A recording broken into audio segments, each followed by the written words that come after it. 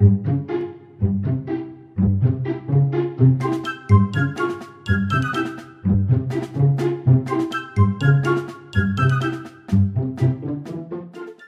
5 Competition The following Sunday, all the Cubs and some of their parents gathered at the castle grounds to continue work on the play and movie.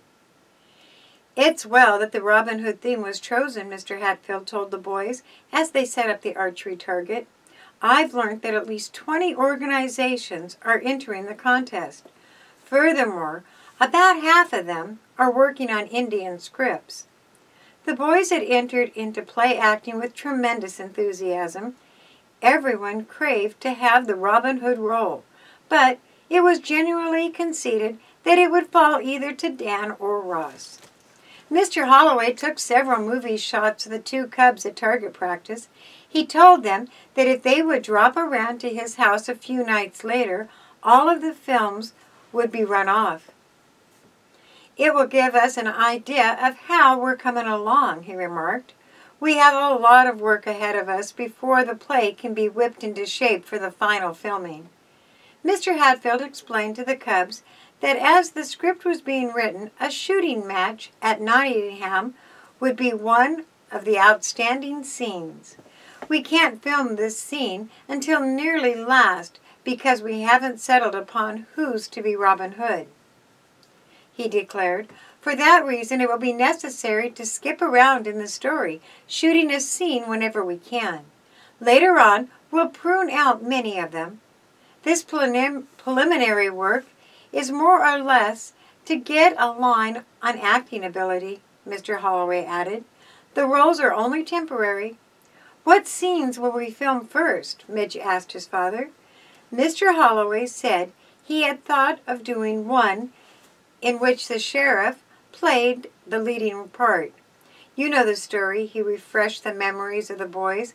At the shooting match in Nottingham, Robin Hood disguises himself and wins out over some of the best shops in England. But after tricking the sheriff, he wishes to let him know that it was he who had been victorious. Oh, I remember that scene, cried Dan. Robin Hood sends Little John and Will Stutely into the town. While the sheriff and his men are at dinner, they shoot an arrow onto the table. A scroll is attached to the shaft.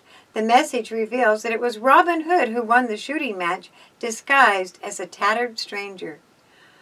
We'll have to modify the scene somewhat, Mr. Holloway said. For one thing, it will be taken outdoors instead of inside the castle. We could make it inside, interposed Ross. Mr. Holloway shook his head. We have no permission to enter the building, he reminded the cub. What will we use for a banquet table? inquired Brad. The den dad told the boys he had noticed a roadside picnic table and bench along the highway, which would serve very well. I asked permission of the State Highway Department to borrow it for an hour, he said. We can move it up here, so we'll have the castle for a background. Then, when the scene is finished, we'll carry it back again. Brad, Dan, Chips, and Fred Hatfield started off to get the table and bench. Coming, Ross? Chips asked him.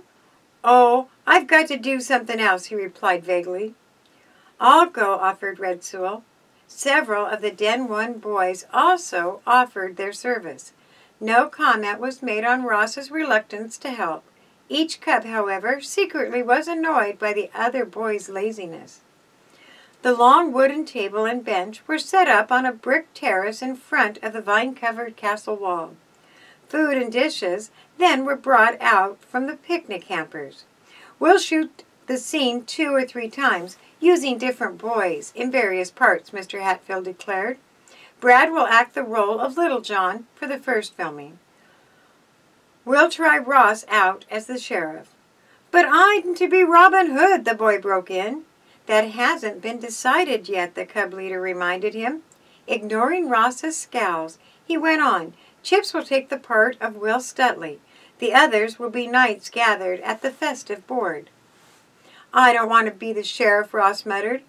Oh, forget it, will you? Brad demanded, losing patience. A cub is supposed to be cooperative the filming of the scene began. Still grumbling at the role which had been thrust upon him, Ross took his place at the head of the picnic table. As the camera began to grind, Brad, from the nearby thicket, shot an arrow. His first missed the table completely. On the second try, however, it dropped squarely amid the dishes. Whence came this? Ross demanded, speaking the lines which had been assigned him. He picked up the arrow and removed the scroll, reading the message. Thou dost give the prize to Robin Hood, he read aloud, and he added with a gruff hostility, Wait until I lay my hands on that sneaking coward. Cut, called Mr. Holloway. Well done, boys. The cubs praised Ross, for he had spoken the lines of the sheriff so naturally. Also, his sullen manner had suited the character perfectly. You make a swell sheriff, Red praised him. Oh, yeah, Ross retorted. Well, don't think you're going to unload that role on me. I'm going to be Robin Hood. Mr. Holloway filmed a scene with Brad and Chips as Little John and Will Stutely. Then he tried out several of Den One boys in the parts of the sheriff. How everyone, everyone agreed that Ross had acted the role better than anyone else.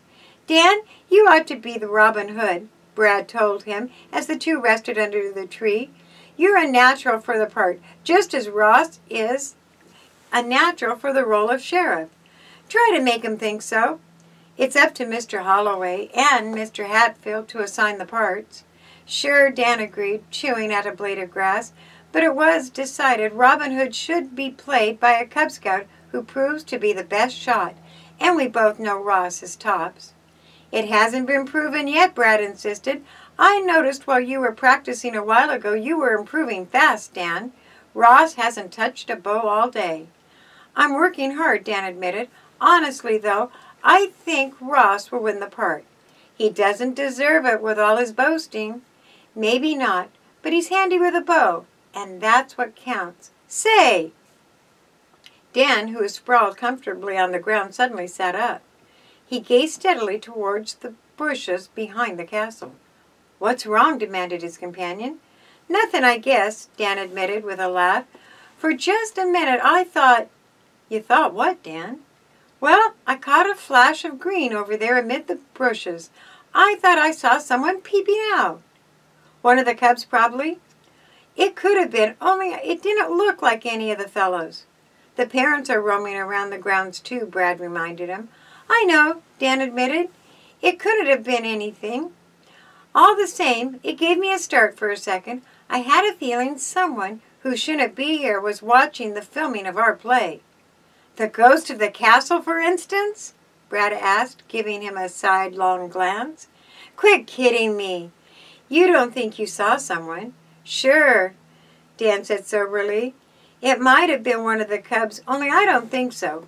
You know, Brad, I've had quite a queer feeling ever since we came here. As if someone were watching us? That's right, Brad. I know it sounds silly. It isn't silly, the older boy replied soberly. I've had that same feeling myself. I suppose my imagination was stirred by finding a fire inside the castle, Dan said, and then that arrow in the target. It never did match any of the ones we were using. Someone is hiding out here all right, Brad admitted, with sudden conviction. Suppose we amble around and see if we can find anyone. No use worrying the other cubs. Without attracting attention to themselves, the two boys walked over to the bushes where Dan had seen movement. No one was there. Brad found a few footprints. There was no way they could tell whether or not they had been made by one of the cubs, for as Dan pointed out, the boys of Den 1 and Den 2 had been everywhere on the grounds. We'll be smart not to say anything about this to the other fellows, Brad advised. No use getting them excited, especially as it may not amount to anything. I'll keep Mum Dan promised. All the same, I'd like to track down our castle ghost. So far, he's proven an elusive as Robin Hood himself. Da do da do.